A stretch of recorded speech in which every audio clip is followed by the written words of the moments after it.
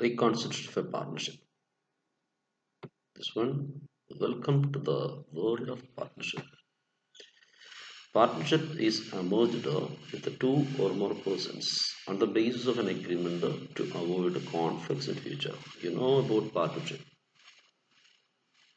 If you're starting with uh, any sole trading concern, uh, it may be having some limitations that means uh, lack of uh, capital contribution then lack of knowledge. In order to avoid these all problems persons are joining together and uh, they will create uh, this type of institution partnership. And its minimum number of persons needed is two and the maximum number of persons uh, in a partnership is 50 then this uh, partnership is created uh, on the base of the agreement uh, it may be either oral or written agreement. Oral agreement have no particular line. Because uh, mainly so many persons are not uh, encouraging this one. Partnership deed or articles of partnership. That's name of written agreement it will be a proof for doing these activities. And there may be some situations uh, which uh, makes change in partnership. An agreement change uh, we can call it as a reconstitution of partnership. Five situations are there for changing the agreement among the partners. That is known as reconstitution of a partnership. Then we can uh, see what type of situations are there. You can see five. That is change in profit sharing ratio. That is the first one. Second one is admission of a partner. And another one is retirement of a partner. And other one is death of a partner. And the last stage is amalgamation of two or more firms. Change in profit sharing ratio means sometimes some partner will do more works. But other partners you know about a working partner that is active partner and a sleeping partner.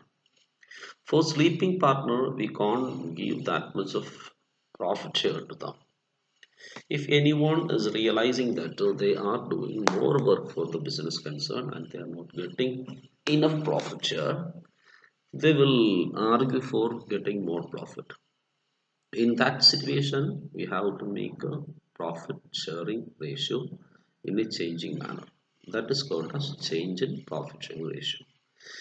And another one is admission of a partner. Admission of a partner means uh, whenever the part the partnership firm need more money or need help of other person at that time they will admit a new partner that is admission of a partner at the time of admission the partner has to bring two amounts one is capital and another one is premium for goodwill. Premium for goodwill is the compensation given to the existing partners because they had made this much of good name to the business firm. So that is actually the share of goodwill. Retirement of a partner that is the third situation. In retirement of a partner the partner who already joined in the business concern will retire outside the business concern. He is known as outgoing partner also. And he would have the right to get whatever maybe he brings in the business and whatever maybe he is entitled from the business concern. Capital share of profit and if uh, there is any interest in capital then commission salary all this belongs to him. It will be given by the continuing partners. And other situation is death of a partner. Death of a partner means uh, already a person happens to death. That is the situation death of a partner. And the situations are same of us in uh, the death also same so in death also the one difference is retirement of a partner means uh, the returning partner is alive. But death of a partner means uh, the person is not alive so his amount will be goes to his legal heirs that is nominees or executors. So here we will prepare executors account and the last one is amalgamation of two or more firms amalgamation means joining together. At that situation two same business doing concern. They will joining for avoiding competition.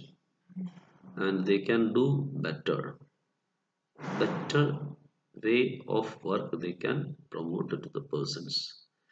So they will joining together and they are creating a new firm so all the situations uh, they need uh, some sort of agreement so in this situation the necessity of reconciliation is happening and uh, agreements are changing so these are the situation for reconciliation of a partnership. Changing profit generation, of a partner, retirement of a partner, death of a partner, and amalgamation of two firms. You're watching Sree Allubhi. Subscribe it. If you like this uh, video, please uh, like it and uh, give your valuable comments for it. Okay, thank you.